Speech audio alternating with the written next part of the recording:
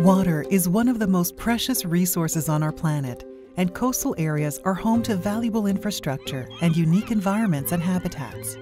Coastal areas play an important role in our country's economy as trade flows through their ports. They are constantly evolving and are sensitive to climate change. In order to protect them, it is important to monitor them and better understand those changes over time. Meet Arctus, a Canadian company that does just that. How? By using satellite data. In fact, data generated by satellites is the raw material that fuels the company's business. Arctus uses it to map Canada's water environments. Dr. Simon Bélanger is the scientific director. Our company works in remote sensing, so Earth observation. And we focus on observing aquatic environments. I'm talking about oceans, rivers, lakes, and estuaries.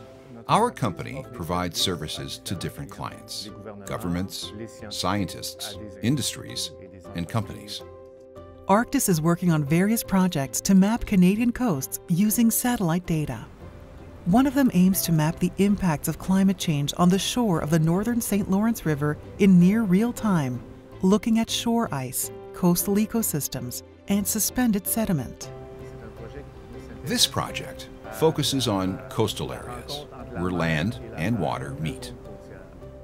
Sea levels are on the rise, as we all know.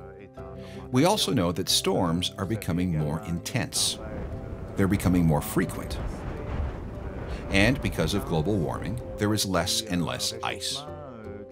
In Canada, our coasts are often covered in ice during the winter. And that ice provides natural protection against storms that cause damage along the coasts. So, there are a number of challenges, and our project aims to offer solutions to meet those challenges. We'll create maps to bring all the information together, and those maps will provide decision makers with useful information. They could be municipalities, or they could be different levels of government local, provincial, or federal.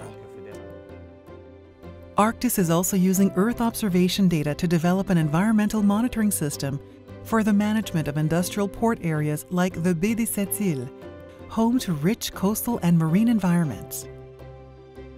In another project, the company is exploring ways to combine artificial intelligence with optical satellite data to measure the depth of the coastal waters. Satellite data is already improving the lives of Canadians without people even realizing it.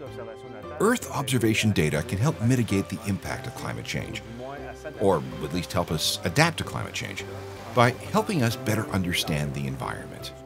I want Canadians to know that there are satellite tools available in space, and they provide data that can be used to observe, document, and map changes along the coast, along Canadian coasts.